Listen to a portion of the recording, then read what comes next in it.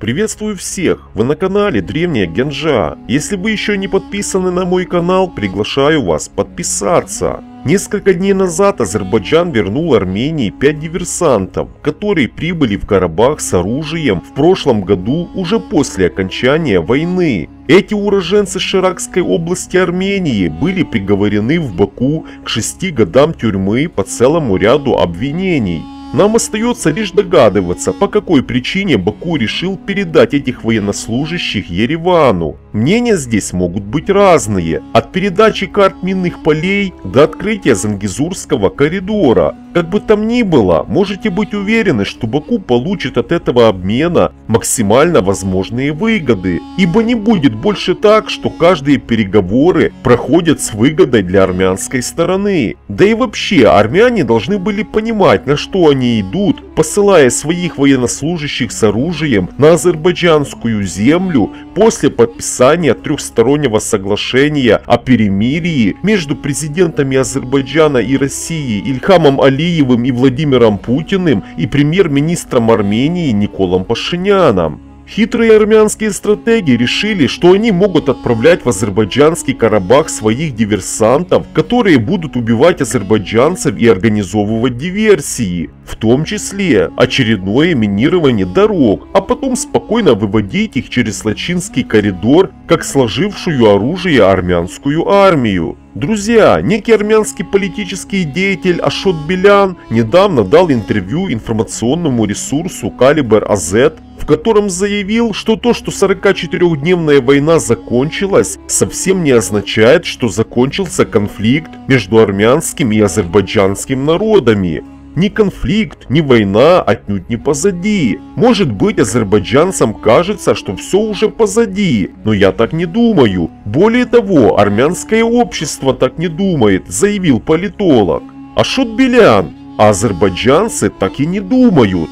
Как же может быть прекращен конфликт, когда с вашей армянской стороны до сих пор не подписан мирный договор? Если кому-то и не нужен мир, то в первую очередь армянам. Почему вы тормозите мирный процесс? Почему ваш армяне-премьер до сих пор не подписал мирный договор? Народ же его поддержал на выборах. Почему вы разрешаете разного рода реваншистским организациям мутить воду и портить воздух в армянском обществе? В ваших же руках, Никол, власть. Так используйте же ее для восстановления мира в регионе. Начинайте наконец-то же мирные инициативы между своими соседями. Хватит мечтать о чужих землях. Займитесь наведением порядка и благоустройством на вашей земле, а то зарясь на чужое, можно и свое потерять.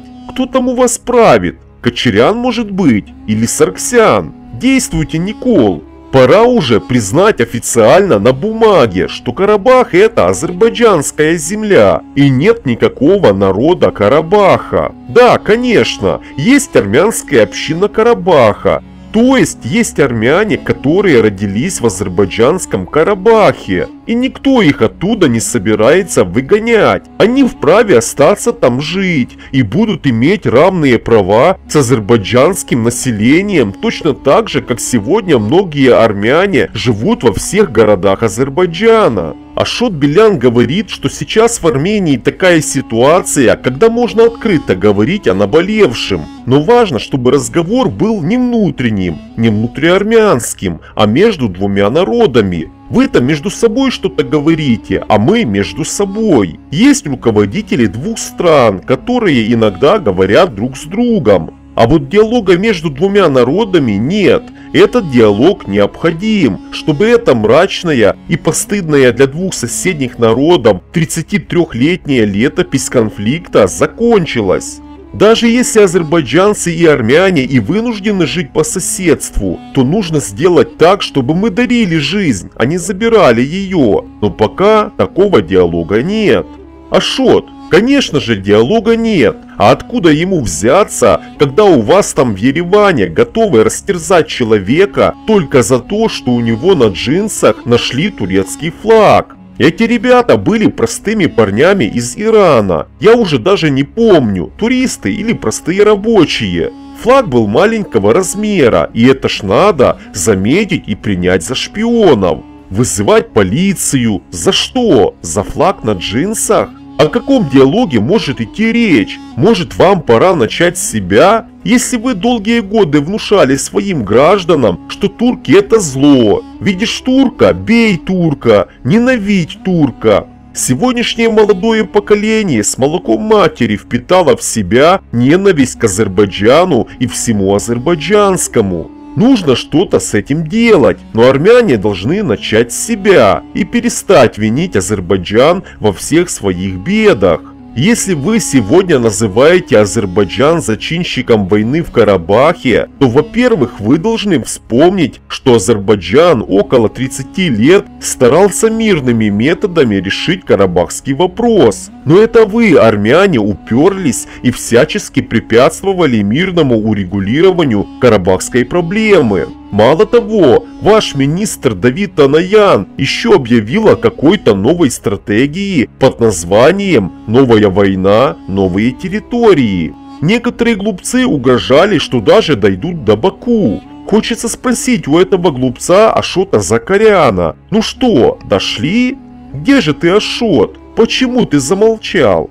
В то время, когда Азербайджан требовал мирной передачи Карабаха из семи прилегающих районов Армении Азербайджану, армяне устроили очередную провокацию в Тавузе. Вооруженные силы Армении обстреляли позиции азербайджанской армии, расположенные в направлении села Мунджуглу Тавузского района. Так что перед тем, как называть азербайджанцев виновниками и зачинщиками войны, вы бы лучше задумались над тем, каково это быть беженцем 30 лет и не иметь возможности вернуться в свой дом в Карабахе. И особенно больно осознавать, что те, кто изгнал тебя из твоей родины, теперь еще и живет в твоем доме. А потом, кстати, вы эти дома еще и сжигали. Легко жить дом, который ты не строил, правда? И это я еще не сказал про хаджалы, про армянский вандализм над историческими ценностями, про уничтоженные целые азербайджанские города, про ракетные удары по Гянже и многое другое.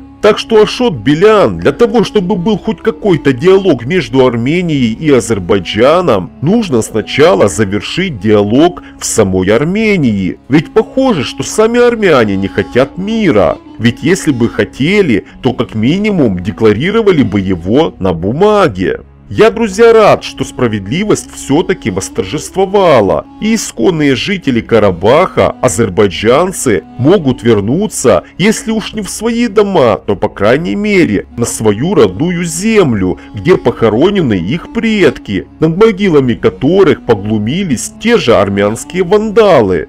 Друзья, огромное спасибо, что досмотрели ролик до конца и поставили лайк. Это ваша благодарность за мой нелегкий труд. С вами был Павел. Всем удачи!